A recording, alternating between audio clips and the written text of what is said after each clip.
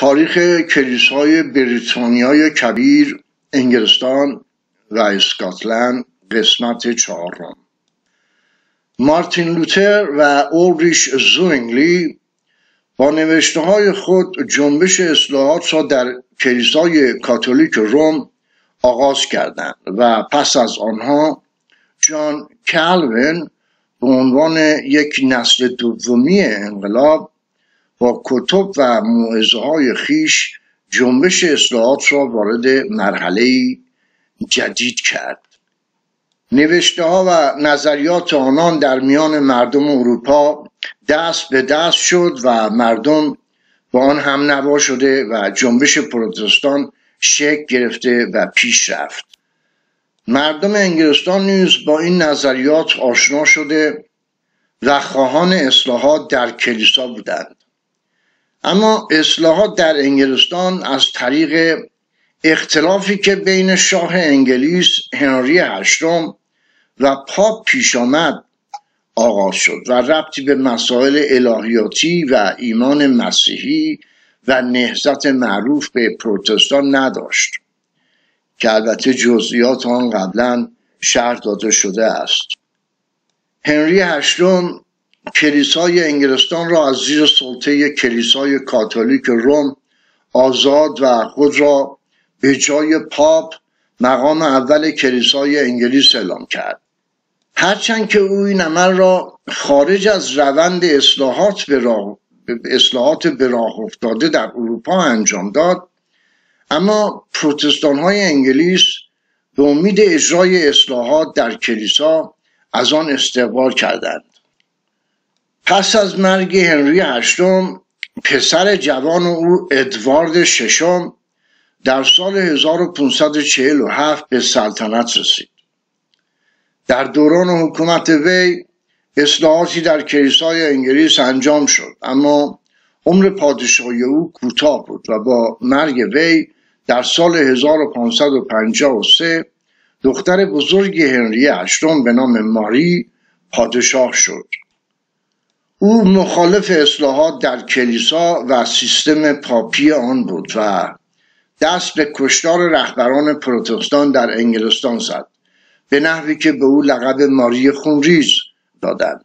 بلادی میری ظلم و ستم او باعث شد تا بسیاری از پروتستان ها از انگلیس گریخته و به سایر مناطق اروپا پناه ببرند. اکثر آنها به ژنو رفتند و در آنجا کلیسای خود را برپا نمودند و بیشتر آنها پیرو نظریات جان کلوین شدند. ماری کلیسای انگلستان را مجددا به زیر سلطه رهبری کلیسای کاتولیک روم و سیستم پاپی آن برد.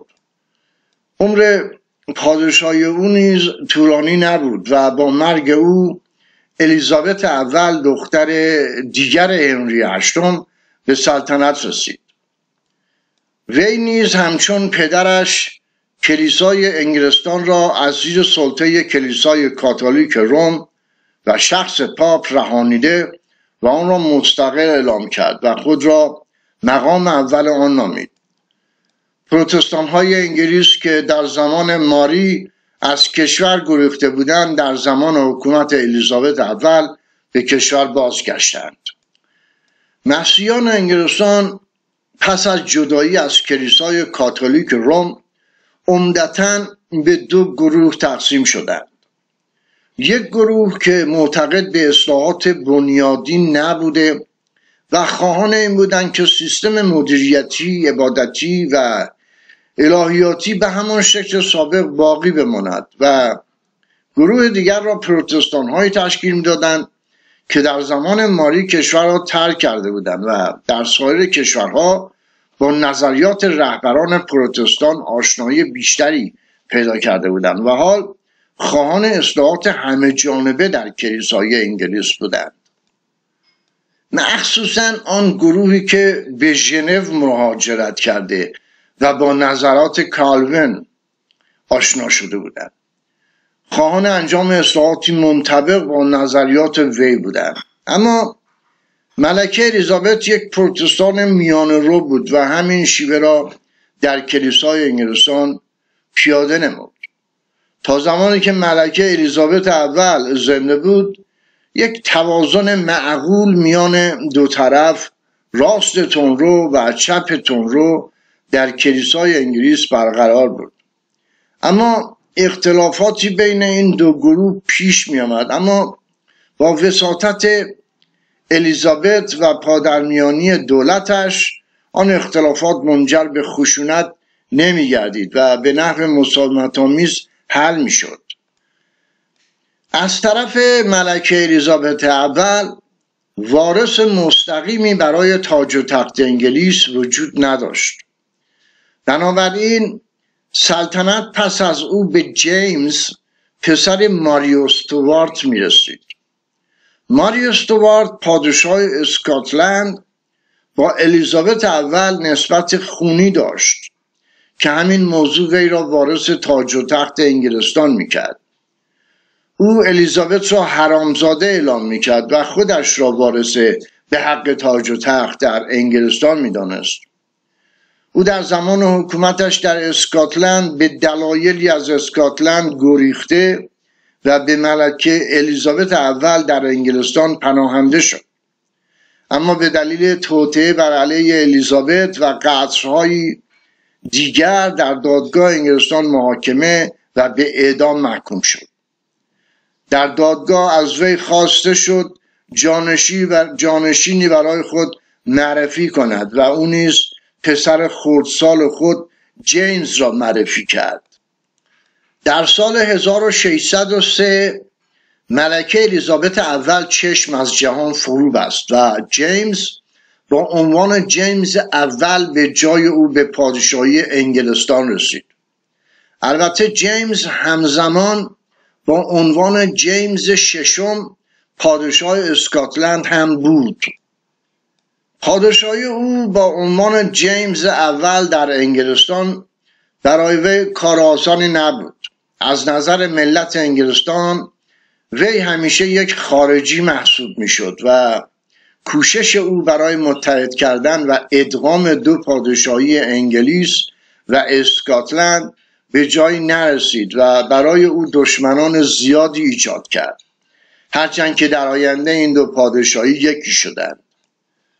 همچنین سیاست های اقتصادی و تجاری که الیزابت اول در انگلستان آغاز کرده بود به ثمر نشسته و قشر جدیدی از تجار و طبقه متوسط در انگلستان شکل گرفته بود که از جیمز از جیمز اول راضی نبوده و اعتقاد داشتن قوانین وی به نفع دوستان و اقوام او و همچنین شاهزادگان اشراف و کشیشان ارشد یا بیشاپ ها وضع می شود البته این قشر از نظر پادشاه خطر اصلی به حساب نمی آمدن. از نظر پادشاه مشکل اصلی پروتستان های خواهان اصلاحات بودند که اعتقاد داشتند کلیسای انگلیس باید مستقل شده و کنترل پادشاه از آن برداشته شود مخصوصا که چنین اصلاحاتی در کشور همسایه اسکاتلند رخ داده بود که خود جیمز به عنوان جیمز ششم پادشاه آنجا بود. در آن بره از زمان پروتستان ها در انگلستان یک دست نبودند. گروهی از آنها نظریات مارتین لوتر را قبول داشتند. گروهی به نظریات زوینگلی تمایل داشتند. گروهی پیرو نظریات کلوین بودند. گروهی دیگر تونروتر و طرفدار نظریات شاخه آنابپتیست بودند و تعمید دوباره ایمانداران و اعلام ایمان در سنین بالا را شرط نجات می دانستن. گروهی ملقب به کویکرها و از پیروان جان فاکس بودند که پیروی از روح را ارجح می دانستن. و گروه دیگر طرفدار نظریات جیکوب آرمینیوس بودند آرمینیوس متعلق به نسل پس از کلوین بود. او شاگرد مدیر دانشگاه الهیات ژنو تئودور بیزا بود که پس از کلوین کشیش ارشد کلیسای بزرگ ژنو شده بود. این محقق نسل سوم اصلاحات نظریه برخلاف نظریه معروف کلوین در باب نجات و آمرزش دارد. نظریه وی نظریه او شباهت به نظریه معروف به نظریه نیمه آگستین دارد که کاساریوس قرنها قبل آن را مطرح کرده بود و مورد قبول کلیسا قرار گرفته بود. از نظر کلوین و قرنها پیش از او آگستین نجات یافتگان از ازل انتخاب شدند و حتی ایمان آنها نیز ثمره کار خود آنها نبوده و از سوی خدا به آنها اعطا می شود و هدیه نجات به آنها نامشروط است. اما آرمینیوس و قرنها پیش از او کاساریوس اعتقاد دارند که هرچند که خداوند نجات یافتگان را از ازل می‌شناسد. اما نجات آنها مشروط به اعلام ایمان آنها به مسیح است. و در این مورد آنها می توانند مسیح را قبول نکنند و این عمل آنها را از نجات باز می دارد در هر حال مسیحیان پروتستان در انگلستان به نظریات مختلفی اعتقاد داشتند. ولی از آنجا که تعداد زیادی از آنها از ژنو آمده بودند و از تعالیم الهیاتی کلون پیروی می‌کردند و کلیسای خود را داشتند لذا از سایرین متشکلتر بودند و با عنوان پیوریتن ها شناخته می شدند. آنها اعتقاد داشتند که کلیسا باید در مبنای کلام تصفیه و پاک شود و از آنجا که واژه تصفیه و پاک شدن در انگلیسی purity ست آنها خود را با این واژه نامگذاری کرده و مخالف بسیاری از رسوم قدیمی که هنوز در کلیسای انگلستان به آنها عمل می‌شد بودند. مانند استفاده از صلیب لباس و پوشاک مخصوص برای کشیشان و روحانیون و یا نحوه اجرای مراسم اشعار ربانی و استفاده از شمایل و مجسمه ها و آلات موسیقی در کلیسا و غیره. همچنین آنها طرفدار ساده زیستی بوده و با استفاده از تجملات و زیبایی های هنری چه در کلیسا و چه در زندگی خصوصی مخالف بودند. آنان با شب زندداری ها و خوشگذرانی ها مخالف و معتقد بودن روز یکشنبه روز خداست و باید به طور کامل در عبادت سپری شود. هرچند که اکثر آنها به طور معقول شراب می نوشیدن اما با زیاده روی و میگساری به خصوص برای روحانیان موافق نبودند. آنها حتی با تئاتر نیز مخالف بودند و استدلال می‌کردند که بازیگر با ایفای نقش درویی را ترویج می‌کند. پیریتن ها مخالف پست و مقام کشیشان ارشد معروف به بیشاپس بودند. از نظر آنها این مقام مبتنی در کلام خدا نبوده و در عرف کلیسا به وجود آمده بود و اعتقاد داشتند کلام خدا برای کلیسا هم از نظر الهیاتی و هم از نظر سازمانی و تشکیلاتی باید به عنوان اساسنامه در نظر گرفته شود و کلیسا مطابق آن برنامه ریزی شود. هرچند که در عمل در این مورد همه آنها با هم موافق نبودند. معتدلترین آنها که حاضر به همزیستی مسالمت آمیز با کلیسای انگلستان بود اعلام می‌کرد که از کتاب مقدس می‌توان چندین مدل متفاوت سازمانی و مدیریتی استخراج و استنباط کرد. لذا شاید همین سیستم اسقفی نیز درست باشد اما حق الهی نیست. گروهی نیز اصرار داشتند که کلیسا باید با سیستم شورای مشایخ و کشیشان اداره شود و همچنین عده دیگر کلا نظرشان بر استقلال کلیساها بود حتی در مقابل کلیساهای دیگر. البته در زمان حیات ملکه الیزابت اول کلیسای انگلستان به صورت به صورتی اداره می‌شد که تقریبا تمام گروه ها در آن جای می گرفتن و آرامش داشتند. کلیسای انگلستان در آن زمان از نظر الهیاتی و عقیدتی مدل معتدل نظریات کلون را اتخاذ کرده بود و از نظر شکل ظاهری کلیسا و شیوه مراسم عبادی از مدل لوتر پیروی می‌کرد و از نظر سازمانی تشکیلاتی مدیریتی و رهبری تقریبا از مدل کلیسای کاتولیک روم در آن استفاده می‌شد. با این تفاوت که ملکه یا شاه جای پاپ را در آن گرفته بود. پس از الیزابت اول پیوی تنها به شاه جدید اعتماد نداشتند. شاهی که مادرش ماریوستوارد یک کاتولیک سابقه دار در دشمنی با پروتستان ها بود. اما جیمز در عمل هیچ علاقه به سیستم پاپی کلیسای کاتولیک روم نداشت. اگرچه کلیسای کاتولیک روم انتظار داشت اکنون که جیمز پادشاه انگلستان شده کلیسای انگلستان مجددا تحت نفوذ پاپ روم قرار گیرد. اما جیمز در این مورد بارها کلیسای کاتولیک روم را ناامید کرد زیرا از نظر جیمز حکومت مطلقه پادشاهی ایدئال بود. چیزی که در آن زمان در فرانسه جریان داشت.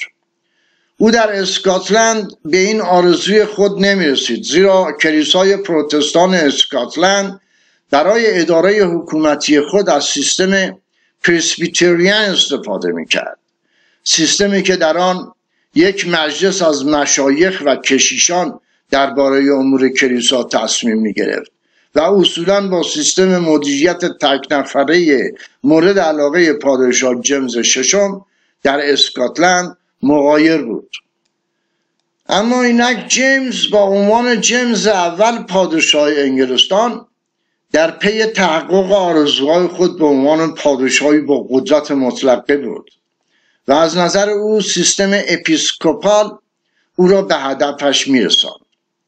در این سیستم کشیش ارشد منطقه یا بیشاپ بر کلیه روحانیون منطقه خود نظارت مدیریتی و حکومتی داشت و در نهایت به مقام رهبری کلیسا که در مورد کلیسای انگلستان شاه یا ملکه است پاسخگو بود. جیمز خواهان چنین سیستمی بود که در آن قدرت وی بدون کنترل و بلا منازع باشد. جمله معروف او این بود بدون بیشاپ ها پادشاه وجود نخواهد داشت. البته هرچند که یک پادشاه با قدرت مطلقه بودن آرزوی جمز اول در انگلستان بود اما وی شایستگی لازم را برای به دست آوردن آن مقام نداشت. او با اینکه از نظر مالی شاه فاسدی نبود اما مدیر اقتصادی لایقی هم نبود. و با اصراف و ولخرجی های بیمورد در پروژه های غیر ضروری در موارد لازم با کمبود بودجه مواجه می شد همچنین از لحاظ مدیریت سازمانی اداری نیز بی تجربه بود و با دادن القاب مهم و مسئولیت های کلیدی به دوستان و افراد نالایق مدیران کارآمد و شایسته را از خود میرنجانید. در مورد مسائل مذهبی او سعی کرد از ملکه الیزابت اول پیروی نموده و همه را تا حدودی راضی نگه دارد. فقط طرفداران و رهبران فرقه آنابپتیست ها را یا تعمیدیون را مورد تعقیب و آزار قرار می‌داد. شعار آنها مبنی بر تصاوی حقوق تمام مردم باعث ترس و نگرانی او می‌شد. همچنین کاتولیکا که به نظر می آمد به مقام پاپ بیشتر از مقام شاه اهمیت می‌دهند او را نگران می‌کردند. اما اگر پاپ راضی می‌شد تا حق سلطنت او را تایید کند و او را به عنوان مقام اول کلیسای انگلیس مورد تایید قرار دهد و با صدور فتوای مذهبی ترور و کشتن پادشاه را حرام اعلام کند آن وقت مشکلی با کاتولیکای انگلستان نداشت و آنها می توانستند با امنیت در انگلستان زندگی کنند. اگرچه جیمز از پرسپتریان های اسکاتلند متنفر بود زیرا نمیگذاشتن او در اسکاتلند پادشاهی با قدرت مطلقه باشد. اما در انگلستان با آنها مشکلی نداشت و حتی آزادی های نیز برای آنها قائل شده بود. لیکن سیستم اسقفی یا کشیش ارشدی معروف به اپیسکوپال اپیسکوپال متداول در کلیسای کاتولیک روم با رهبری پاپ و کلیسای انگلستان با رهبری پادشاه سیستم مورد علاقه او بود و به هیچ وجه راضی به ترک آن نبود. زیرا نظر او این سیستم اقتدار پادشاه را تضمین می‌کرد.